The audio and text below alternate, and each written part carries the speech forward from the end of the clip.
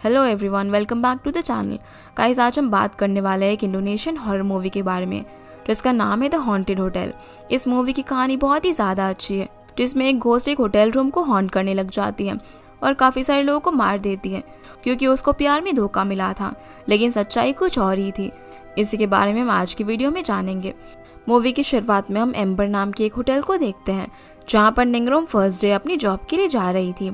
Hotel के अंदर जाते उसे होटल की ओनर सुक्तिनी मिलती है, जो कि निंगरूम को सेकंड फ्लोर की सफ़ाई करने के लिए कहती है। पर इसके साथ ही वो दो बार उसे वॉर्न भी करती है कि उसे थर्ड फ्लोर पर नहीं जाना है, जिसका रीज़न वो बताती है कि वहाँ पर रेनोवेशन का काम चल रहा है तो उसे थर्ड फ्लोर से दूर ही रहना है। इसके बाद अब निंगरून सेकंड फ्लोर पर सफ़ाई करने के लिए चली जाती है, पर वहाँ उसे थर्ड फ्लोर पर किसी लेडी के रोने की आवाज़ आ रही थी, जिसकी वजह से मना करने के बावजूद भी वो वहाँ पर आवाज़ का पीछा करते हुए चली जाती है। वो थर्ड फ्लोर के कॉरिडोर का दरवाज़ा भी अनलॉक कर देती है।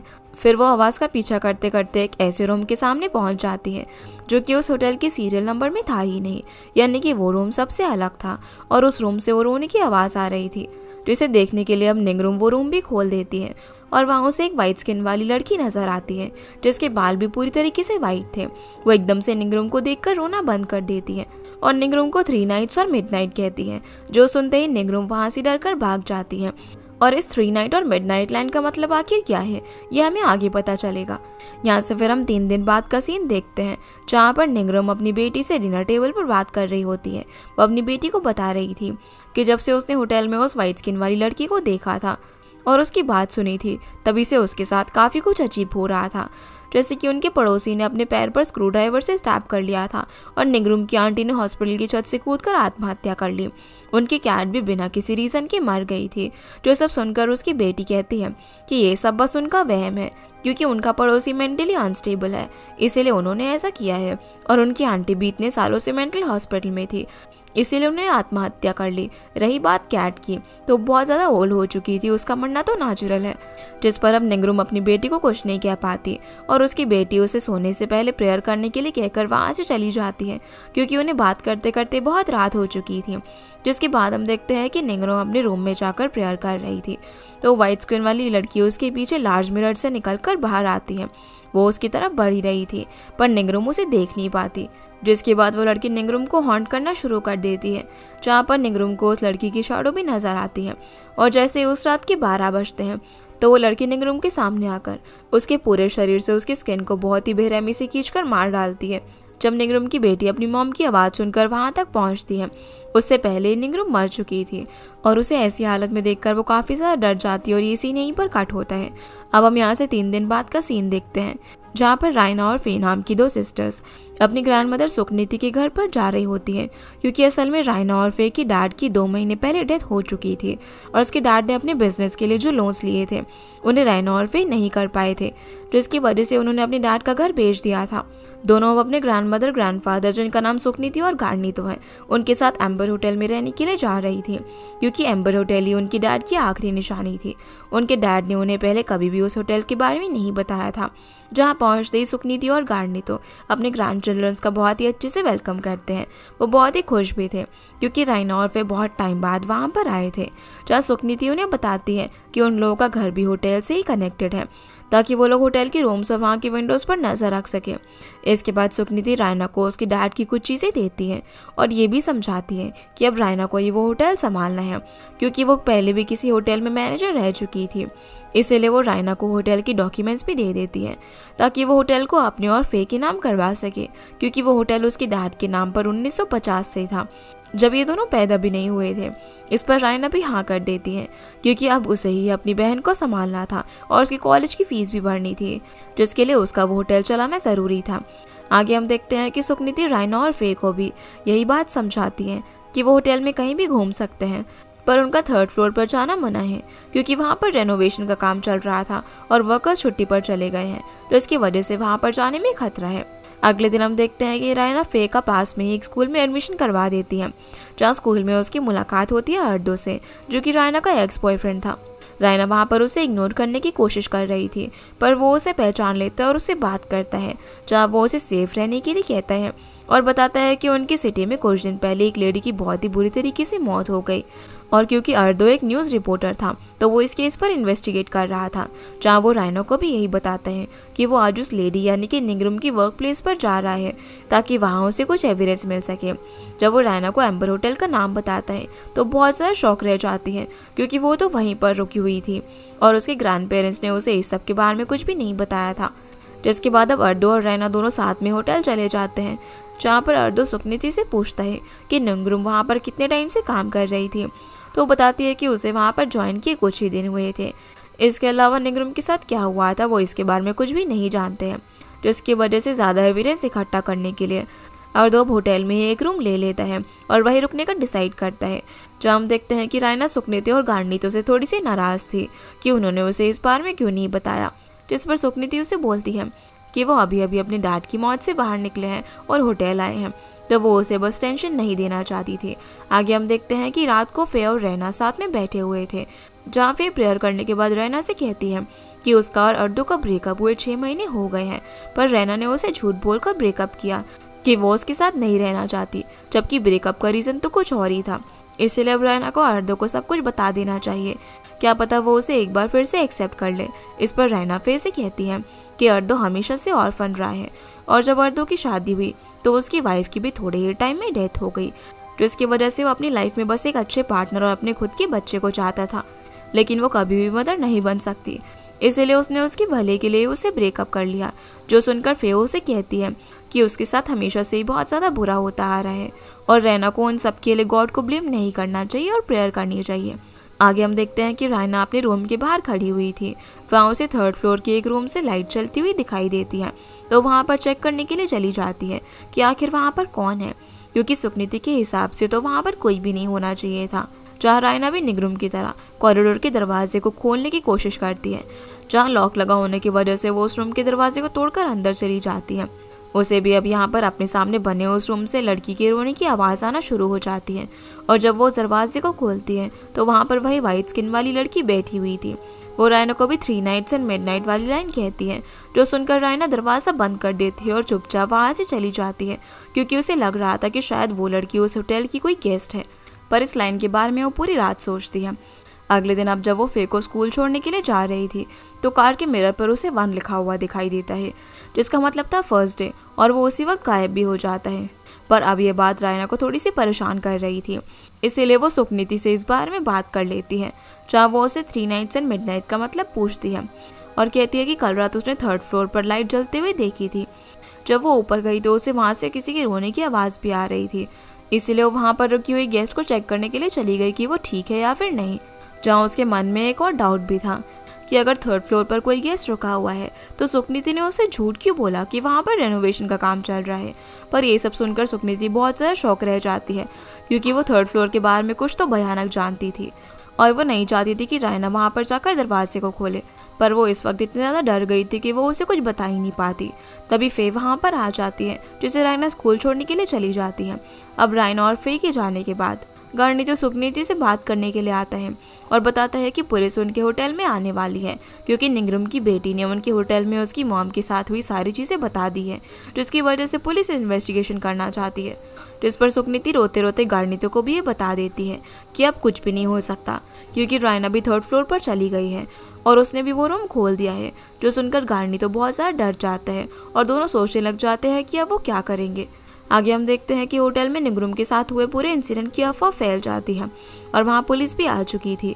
तो होटल के सारे गेस्ट डर की वजह से होटल से चेकआउट करा लेते हैं। तभी रायना भी वहाँ पर पहुँचती हैं, जहाँ वो सभी गेस्ट को जाते हुए देखकर कंफ्यूज थी और दो भी वहाँ पर मौजूद था। तभी रिसेप्शन टेबल पर रखे हुए टेलीफोन पर किसी का कॉल आता है, जिसे रायना रिसीव कर लेती है और कॉल पर कोई गेस्ट उसी रूम के अंदर टावल पहुँचाने के लिए कहती है। इसलिए रायना खुद ही उस रूम के अंदर टावल रखने के लिए जाती है, पर जब उसे वॉशरूम से वापस किसी के रोने की आवाज़ आती है तो वॉशरूम की तरफ़ बढ़ती है और देखती है कि वॉशरूम में तो कोई भी नहीं था। तभी उसे वापस से कॉल आता है, जहाँ कॉल पर उसे कोई लड़की डराने लग जाती है और कहती है कि अगर वो वॉशरूम में नहीं है तो वो रूम में कहाँ छुपी हुई है। ये सुनकर रायना बहुत ज़्यादा डर जाती है। वो जल्दी से रिसेप्शन में कॉल करके पूछती है कि उस रूम में कौन रुका हुआ है तो उसे पता चलता है कि वो रूम तो खाली था और उसके अंदर कोई भी नहीं रुका हुआ है। तभी अचानक से रायना को वही लड़की कर्टन्स के पीछे चलते हुए नज़र आती है और देखते ही देखते वो कारपेट के नीचे आ जाती है, जहाँ रायना उसका फेस देख लेती है। और ये वही वाइट स्किन वाली लड़की थी, जिसकी आँखें बिल्कुल रेड थी, जो देखकर रायना बहुत ज़्यादा डर जाती है। वो जल्दी से अब रूम से बाहर आती है, जहाँ उसी वक्त अर्दो भी पहुँच जाता है, वो यहाँ पर उसे संभाल लेता है। वो अब यहाँ पर उसे सब कुछ बताती है तो अर्दो रूम को चेक करने के लिए अंदर जाता है। पर अंदर सब कुछ बिल्कुल सही जगह पर रखा हुआ था और वहाँ पर कोई भी नहीं था। इसके बाद रायना के साथ हुए इंसिडेंट को सुनकर होटल का सारा स्टाफ भी वहाँ से रिजाइन कर देता है और अब सुकनीति और गार्नितो को रायना और अर्दो के सामने सब कुछ बताना ही पड़ जाता है कि छः साल पहले वो लोग फाइनेंशियली बहुत ज़्यादा वीक हो गए थे। तो रायना के डैड ने उन्हें वो होटल के बारे में बताया कि उसने एक होटल खरीद रखा है और उसके पेरेंट्स चाहे तो वो होटल ओपन कर सकते हैं। और उसे जो भी पैसा है, उससे अपना घर चला सकते हैं। पर जब गार्नितो और सुकनीति उस होटल में आए तो उसकी कंडीशन बिल्कुल भी अच्छी नहीं थी, जिसकी वजह से उन्होंने होटल का रेनोवेशन करवाया। और जब एक वर्कर थर्ड फ्लोर पर लाइट्स लगा रहा था तो उसे भी वहाँ बिना सीरियल नंबर वाले रूम से किसी के रोने की आवाज़ आई। उसने भी उस गेट को खोलकर उस वाइट स्किन वाली लड़की को देखा। जहाँ उस लड़की ने उसे भी थ्री डेज़ एंड मिडनाइट बोला। जिसके बाद से उस वर्कर के साथ अजीब अजीब चीज़ें होना शुरू हो गई और तीन दिन और मिडनाइट का मतलब ये था कि जो भी उस रूम को खोलता था, उसके साथ लगातार दो दिन तक अजीब चीज़ें होती थी और तीसरे दिन की मिडनाइट में, यानी कि बारह बजते ही उस इंसान की मौत हो जाती थी, जैसे उस वर्कर की हुई। क्योंकि उस रात उसने अपना सर दीवार पर मार मार कर अपनी बॉडी से अलग कर दिया था जैसे कि उसकी काफ़ी बेरहमी से मौत हो गई। इस इंसिडेंट के बाद गार्नितो और सुकनीति ने होटल के अंदर दगांग नाम के एक शमन को बुलाया, जहाँ उस शमन तक में ये हिम्मत नहीं थी कि वो उस रूम के अंदर जा सके। उसने गार्नितो और सुकनीति को हमेशा से उस रूम को बंद रखने के लिए कहा, ताकि वहाँ पर रह रही उस लड़की, जो कि एक घोष्ट थी, उसे कोई भी सुन या फिर देख ना पाए, क्योंकि उसने उस रूम को ऑक्यूपाई कर रखा था, यानी कि वो उसका ही रूम था। और उसकी घोस्ट को वहाँ से निकालना इम्पॉसिबल था। यही वजह थी कि वो लोग पूरे थर्ड फ्लोर को लॉक रखते थे, जब तक निंगरूम ने उसे खोल नहीं दिया था।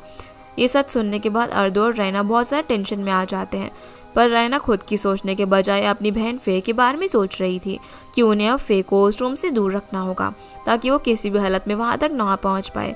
दूसरी तरफ़ हम देखते हैं कि फे अपने क्लासरूम में होती है, जहाँ उसके टीचर उसे बायोलॉजी लैब से कुछ चीज़ें लेकर आने के लिए भेजती है।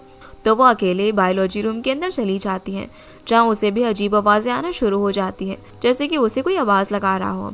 तभी लैब में रखा हुआ ह्यूमन स्टैचू अपने आप ही ज़िंदा हो जाता है और मूव करके फे की तरफ़ एक सीज़र लेकर बढ़ने लग जाता है, जहाँ पर फे को बस एक ही आवाज़ सुनाई दे रही थी। कि वो भी मरने से पहले उस घोस्ट का पेन फील करेगी, जो सब देख कर वो बहुत ज़्यादा डर जाती है और लैब से चिल्लाते हुए बाहर आती है। तो इसकी वजह से उसकी आवाज़ सुनकर लोग भी वहाँ पर इकट्ठा हो जाते हैं। और जब वो अपनी टीचर को बताती है कि अंदर रखे हुए स्टैचू मूव कर रहे थे तो टीचर खुद अंदर जाकर सब कुछ चेक करती है, लेकिन वहाँ पर ऐसा कुछ भी नहीं था। इसके बाद अब फिर घर आ जाती है, जहाँ पर रहना से सबसे पहले सवाल यही करती है कि वो थर्ड फ्लोर पर उस रूम में गई थी या फिर नहीं। इस पर वो उसे बताती है कि उसे भी वहाँ से किसी के रोने की आवाज़ आ रही थी। तो वो उस रूम में चली गई और उसे वहाँ पर वाइट स्किन वाली लड़की मिली, यानी कि रैना ने जब थर्ड फ्लोर का दरवाज़ा अनलॉक किया था तो उसके बाद वहाँ पर फे भी चली गई थी और अब उन दोनों के पास ज़िंदा रहने के लिए सिर्फ़ तीन दिन बाकी थे। इसीलिए अब उस वाइट स्किन वाली लड़की के बारे में पता लगाने के लिए रायना और अर्डो दोनों ही शमन दकांग के पास जाते हैं, जहाँ पर दकांग से उन्हें पता चलता है कि उस लड़की की घोष ने ज़रूर कुछ ऐसा छुपा रखा है, जिस वजह से वो इस दुनिया से मरने के बाद भी कनेक्टेड है और अगर वो उन्हें सीक्रेट जानना है तो उसे उस लड़की का नाम पता करना होगा, ताकि उसके नाम से ही वो उसकी घोष से कम्युनिकेट कर सके।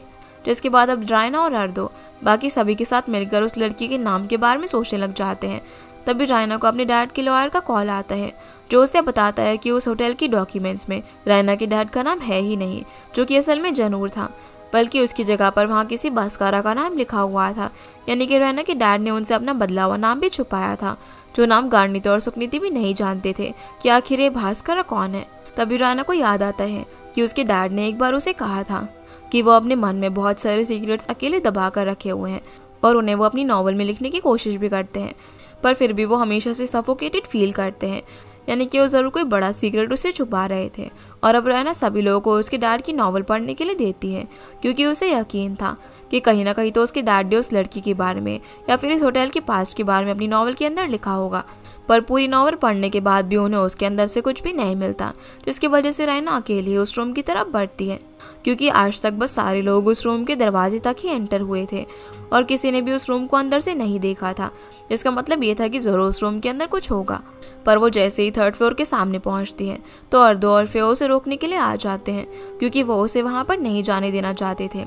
ऐसा करने से उसकी जान को खतरा हो सकता था, लेकिन रैना उन्हें समझाती है कि अगर वो कुछ भी नहीं करेंगे तो वैसे भी तीसरे दिन की मिडनाइट होते ही मारे जाएँगे।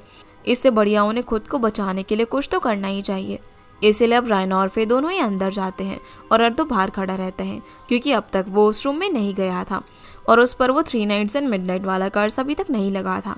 इसके बाद हम देखते हैं कि फे और रैना अलग अलग होकर उस रूम में एविडेंस ढूँढने लग जाते हैं, जहाँ फे की नज़र एक सूखे व्हाइट फ्लावर पर पड़ती है। फिर वो रूम में बने बाथरूम को चेक करने के लिए जाती है।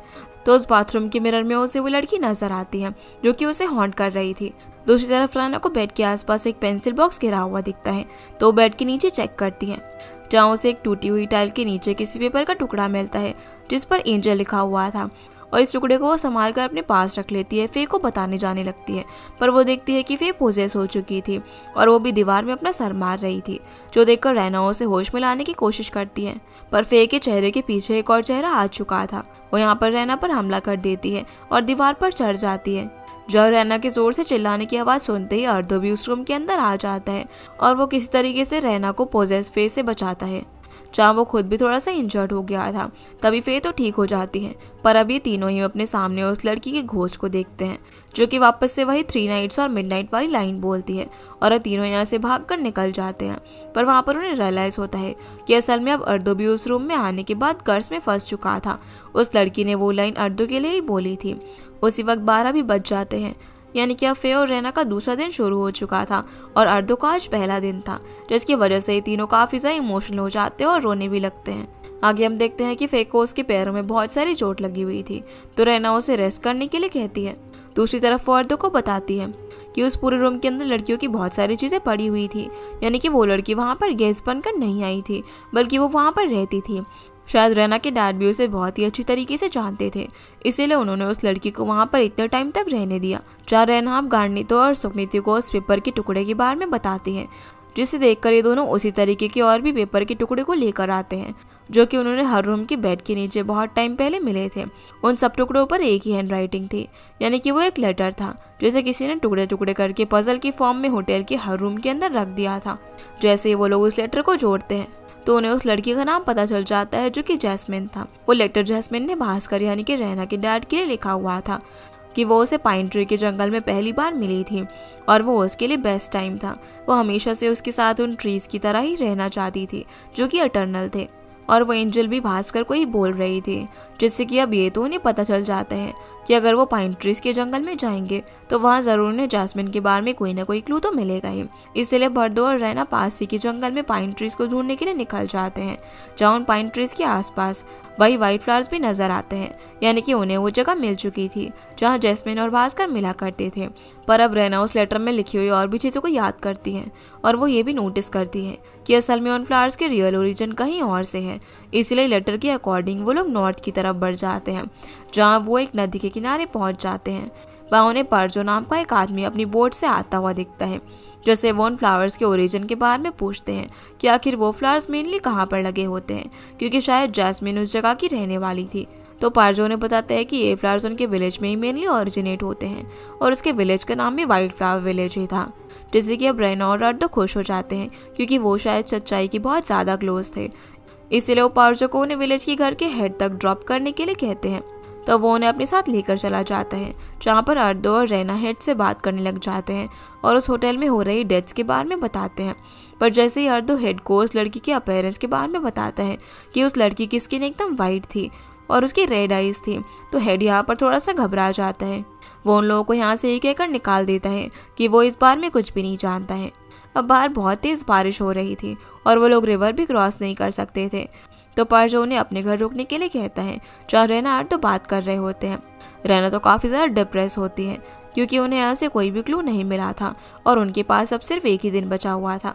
रैना अब यहाँ पर अर्दो को ये भी बता देती है कि जब उसकी मम बीमार पड़ी और उसके डैड को कैंसर हुआ, तब वो गॉड से रोज प्रे किया करती थी, पर फिर भी गॉड ने उसे उसके पेरेंट्स को छीन लिया और अब जब वो मूव ऑन करने के लिए यहाँ पर आई तो यहाँ भी अब उसे अपनी फेयर और अर्दो की डेथ को देखना पड़ेगा। जो बताकर वो रोने लग जाती है। और बोलती है कि शायद गॉड उसके साथ मज़ाक कर रहे हैं, पर अर्दो उसे समझाता है कि उसके साथ इतनी बुरी चीज़ें हो रही है, क्योंकि गॉड उसे फ्यूचर के लिए तैयार कर रहे हैं, ताकि वो फ्यूचर में भी किसी प्रॉब्लम में फंसे तो वो हार ना माने, क्योंकि अर्दो के साथ भी कुछ ऐसा ही हुआ था, जब उसकी वाइफ की डेथ हुई थी। पर उसने गॉड पर हमेशा यकीन रखा और प्रेयर की।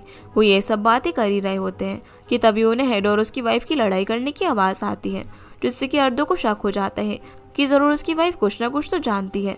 क्योंकि पहले भी जब वो लोग उससे बात कर रहे थे तो अर्दो ने उसकी वाइफ को चुप कर उनकी बातें सुनते हुए देख लिया था। इसीलिए अब ये दोनों हेड के घर के अंदर घुस जाते हैं, जहाँ देखने पर उन्हें उस वाइट स्किन वाली लड़की की एक पेंटिंग दिखती है। तभी हेड की वाइफ उन्हें बताती है कि ये लड़की असल में उनकी बेटी है। फिर वो पार्जो को उन्हें सब कुछ बताने के लिए कहती है। तो पार्जो उन्हें बताता है कि उस लड़की का असली नाम मैनर है, जो कि मिडनाइट में हेड के घर में पैदा हुई थी। और उसे एक रेयर डिज़ीज़ थी, जिसकी वजह से उसकी पूरी स्किन और उसके बाल सब कुछ वाइट थे। इसीलिए उसका नाम भी उन वाइट फ्लावर्स पर रखा गया था, जिसकी वजह से सभी लोग उसे डेविल स्टाइल भी बुलाया करते थे और कहते थे कि वो ह्यूमन नहीं है, वो डेविल है इसकी वजह से उसे स्कूल में भी बुली किया जाता था। उसके डैड भी उसे बहुत ज़्यादा मारा करते थे और उसे कमरे में बंद रखते थे, क्योंकि वो उनकी विलेज में रिस्पेक्ट को कम कर रही थी, जिसकी वजह से मैंने अकेली ही रहने लगी। अपने दिमाग में ही गेम्स बनाती थी। और खुद के साथ ही खेलती थी और डांस करती थी। पर जब वो बीस साल की हुई तो वो घर से भाग गई। उसके बाद से वो कहाँ गई है किसी को भी नहीं पता। हेड तो किसी को उसके बारे में विलेज में बात भी नहीं करने देते थे। जो सब जानकर रैनो और अर्द वापस से होटल आ जाते हैं। और अब उन्हें मैनर का नाम भी पता चल चुका था। तो वो उसकी स्टोरी जानने के लिए दगांग को होटल बुलाते हैं, जहाँ पर दगांग मैनर से कांटेक्ट करता है। और उसके बारे में बताता है कि असल में मैनर जब अपने घर से भाग गई थी तो पाइन ट्रीज के जंगल में उसे भास्कर यानी कि रैना के डैड मिले थे। भास्कर ने ना ही सिर्फ़ उसकी जान बचाई थी, बल्कि उसने उसे अपने होटल में रहने के लिए रूम भी दिया था और अपनी मोम की कुछ ज्वेलरी भी थी, क्योंकि वो एक ऑर्फन था और उसके पास बस अपने मोम डैड की पुरानी मेमोरीज ही थी। इसीलिए अब वो उसे अपनी सबसे क्लोज पर्सन मानता था, जिससे मैनर को काफ़ी अच्छा फील हुआ। भास्कर और वो दोनों उसी होटल में रहते थे और देखते ही देखते उनमें प्यार भी हो गया था, क्योंकि भास्कर ने कभी भी उसे ये फील नहीं होने दिया था कि वो बाकी लोगों से अलग दिखती है। इसीलिए मैनर भी उसे काफ़ी ज़्यादा पसंद करती थी। वो भी ये बात भूल चुकी थी कि वो बाकी लोगों से अलग है, जिसके बाद भास्कर अपनी बिज़नेस की वजह से कुछ दिनों के लिए जकार्ता चला गया और मैनर उसके आने का वेट करती रही।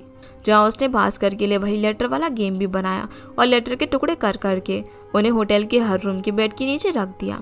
पर बहुत दिन बीत जाने के बाद भी भास्कर होटल में वापस नहीं आया तो मैनर ने खुद जकार्ता जाकर उसे ढूँढने का डिसाइड किया। पर जब वो वहाँ पर गई तो भास्कर उसे वहाँ पर किसी और लेडी के साथ घूमता हुआ दिखाई दिया। दोनों की इंगेजमेंट भी हो चुकी थी और वो लेडी प्रेग्नेंट थी, यानी कि भास्कर ने मैनर को धोखा दिया। इसीलिए अब मैनर का दिल टूट चुका था। उसने होटल में आकर अपनी स्किन को बॉडी से अलग करना शुरू कर दिया, क्योंकि भास्कर ने उसे चीट करके फील करवा दिया था कि उसे कोई भी एक्सेप्ट नहीं कर सकता। वो किसी भी लायक नहीं है, सिर्फ़ अपने अपेयरेंस की वजह से। इसलिए उसने तीन दिनों तक अपनी स्किन को अपनी बॉडी से अलग किया और फिर तीसरे दिन की मिडनाइट को वो दर्द से तड़प तड़प कर मारी गई, जो सब सुनकर रेनो और अर्दो बहुत सारा डरे हुए होते हैं और दाकांग से पूछते हैं कि अब वो ये सब ठीक कैसे करेंगे?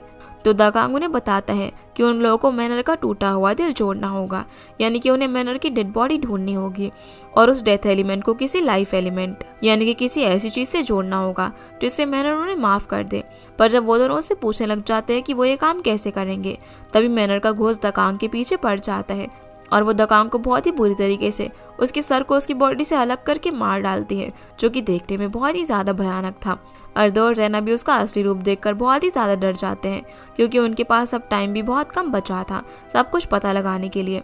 इसलिए रैना बहुत ज़्यादा टेंशन में होती है। वो इसी बीच अर्दो को भी सब कुछ सच बता देती है कि जब अर्दो और वो दोनों रिलेशनशिप में थे, तब रैना को पता चला कि उसे कैंसर है, इसीलिए उसने सर्जरी करवाई। जिसकी वजह से वो कभी भी प्रेग्नेंट नहीं हो सकती। यही वजह थी कि उसने उसे ब्रेकअप कर लिया और उसे दूर हो गई। ये बोलकर वो यहाँ से चली जाती हैं, पर तभी फेक की नज़र बेड के नीचे पड़े उसके डैड की कुछ सामान पर जाती है। उसके अंदर एक बुक थी, जिसमें नाम लिखा हुआ था वाइट एज ए जैस्मिन यानी कि उसके डैड ने मैनर के बारे में एक बुक के अंदर लिखा हुआ था। फिर वो बुक रैना और अर्दो को पढ़ने के लिए दे देती है, जिससे कि उन्हें पता चलता है कि असल में भास्कर जकार्ता किसी बिज़नेस मीटिंग के लिए नहीं गया था, बल्कि वो मैनर को प्रपोज करने के लिए, उसके लिए एक स्पेशल फ्लावर रिंग बनवाने के लिए गया था। ताकि वो वापस आकर उसे सरप्राइज़ दे सके और उसे शादी कर सके। लेकिन जैसे वो रिंग खरीद कर शॉप से बाहर निकलता है तो एक कार से उसका एक्सीडेंट हो गया और उसे सर के अंदर गहरी चोट आई, जिसकी वजह से उसकी मेमोरी चली गई और जिस कार से उसका एक्सीडेंट हुआ था, वो गार्नितो और सुकनीति की थी, जिन्होंने भास्कर को अडॉप्ट कर लिया और उसे अपने डेड बेटे जानूर का नाम दे दिया। इसीलिए भास्कर जानवर की आइडेंटिटी लेकर उनके साथ रहने लगा। पर फिर एक दिन उसे अचानक ही सब कुछ याद आ गया कि वो यहाँ पर क्यों आया था। उसका नाम भास्कर था। इसीलिए वो उसी वक्त वापस से होटल में मैनर को ढूँढने के लिए आ गया, क्योंकि वो भी उसे बहुत ज़्यादा प्यार करता था। पर जब तक वो वहाँ पर पहुँचा, तब तक मैनर की बॉडी पूरी तरीके से सड़ चुकी थी। ये देखकर भास्कर को बहुत ज़्यादा दुख हुआ। वो हर टाइम यही सोचता था कि काश उसने उस दिन उसे बता दिया होता कि वो उसे कितने ज़्यादा प्यार करता है और वो उसे शादी करना चाहता है, ताकि आज वो दोनों साथ में होते। लेकिन अब मैनर जा चुकी थी। इसीलिए भास्कर उसे होटल के अंडरग्राउंड बनी हुई टनल के अंदर ही ग्रेव बनाकर बरी कर देता है। उसकी ग्रेव के ऊपर वो वही वाइट रिंग वाले फ्लावर्स को भी ड्रॉ कर देता है, ताकि अब मैनर की आत्मा को शांति मिल सके। और उसकी ग्रेव हमेशा उसी जगह पर रहे, जहाँ उन दोनों ने अपनी इतनी सारी और अच्छी मेमोरीज बनाई थी। इसके बाद भास्कर उस होटल से हमेशा के लिए दूर चला गया, क्योंकि वो ये सब याद करके गिल्ट में रहना नहीं चाहता था। इसीलिए वो वापस से जानवर बनकर ही रहने लगा।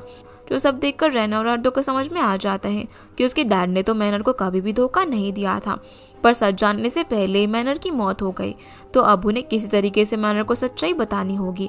तभी उन्हें दकान की बात याद आती है कि उन्हें मैनर की डेड बॉडी से किसी लाइफ एलिमेंट को जोड़ना होगा, और अभी लाइफ एलिमेंट का काम करेगी वो रिंग, जैसे वो लोग मैनर की डेड बॉडी से जोड़कर उसका टूटा हुआ दिल जोड़ सकते थे और उसे बता सकते थे कि भास्कर ने उसे सच में बहुत ज़्यादा प्यार किया था। फिर हम देखते हैं कि अर्दो और रहना दोनों ही होटल की अंडरग्राउंड बनी हुई टनल के अंदर ग्रेव को ढूँढने के लिए पूरी तैयारी के साथ चले जाते हैं और अलग अलग होकर उसे ढूँढने लग जाते हैं। पर मैनर भी उन्हें ये काम इतनी आसानी से नहीं करने दे सकती थी। वो उनका टाइम वेस्ट करने के लिए औरतों को पोजेस कर लेती है। और फिर अर्दो रहने को एक गलत जगह पर ग्रेव बताकर वहाँ पर खोदने के लिए कहता है। दोनों वहाँ पर बहुत देर तक एक बड़ा सा गड्ढा भी खोद देते हैं, पर उनके हाथ कुछ भी नहीं लगता। तभी रहना रुक अपनी डैड की रिंग पर बने हुए उस फ्लावर को, वहाँ पर बने हुए फ्लावर से मैच करके देखती है और उसे पता चलता है कि वो फ्लावर उस रिंग वाले फ्लावर से अलग था। तभी अर्दो जो कि पोजेस हालत में था, वो रैना को मारने के लिए उस पर अटैक कर देता है, पर रैना उससे बचने के लिए भागती है। मैनर फिर भी यहाँ पर उसका पीछा नहीं छोड़ रही थी। किसी तरीके से अब रहना अर्दो के पैरों पर एक लकड़ी से मारकर उसे इंजर्ट कर देती है, ताकि अगर मैनर उसे पोजेस भी करे, तब वो उसके पीछे ना आ पाए, जिसके बाद वो ग्रेव को ढूंढना शुरू कर देती है, जहाँ बहुत ज़्यादा फ्रस्ट्रेट भी हो गई थी, क्योंकि उसके पास अब बहुत ही कम टाइम बचा हुआ था, थोड़ी देर में बारह बजने वाले थे, पर तभी वो अपना बेड खोलती है, जिसमें उसे अपने ग्रैंड पेरेंट्स का एक लेटर मिलता है।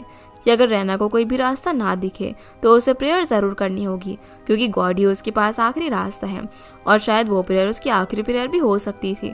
इसीलिए अब रैना जल्दी से वहाँ पर प्रेयर करती है, और वो काफ़ी दिनों के बाद प्रेयर कर रही थी। दूसरी तरफ़ फे भी अपने ग्रैंड पेरेंट्स के साथ मिलकर प्रे कर रही थी, ताकि गॉड उन्हें प्रोटेक्ट कर सके, और असल में भी ऐसा ही होता है।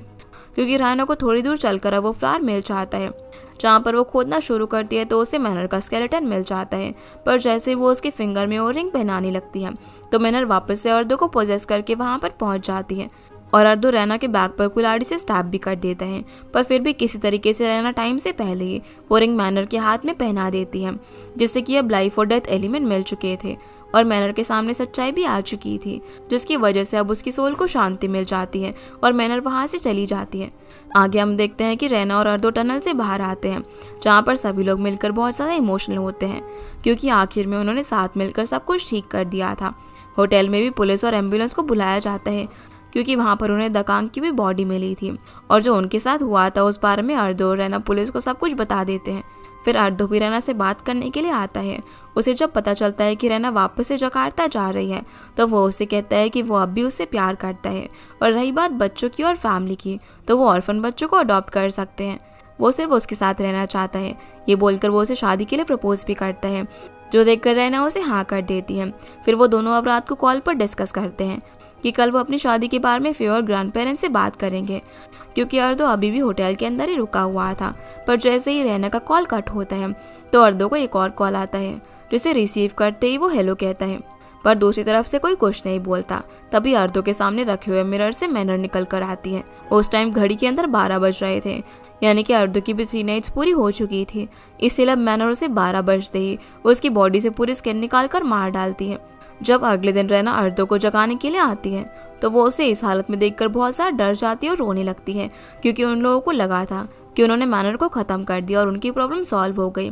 पर ऐसा कुछ भी नहीं हुआ था, जिसके बाद वहाँ पर पुलिस बुलाई जाती है और अर्दो की डेड बॉडी को भी लेकर जाया जाता है, जो चीज़ रैना और फिर छत से देख रहे थे।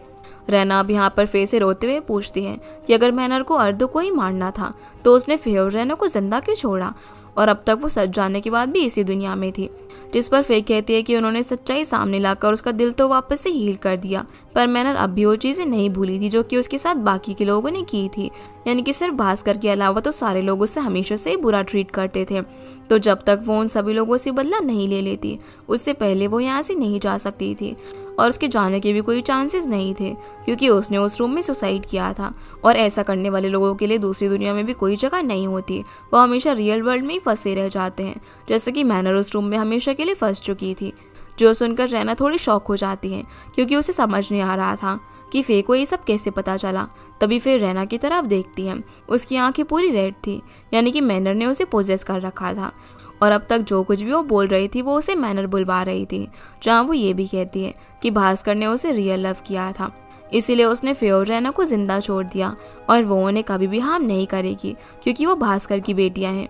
जिसके बाद फेयर रैना अपने ग्रैंड पेरेंट्स के साथ वो होटल को छोड़कर जकार्ता चली जाती हैं, क्योंकि वो होटल उनके लिए बहुत ही ज़्यादा बैड लग था।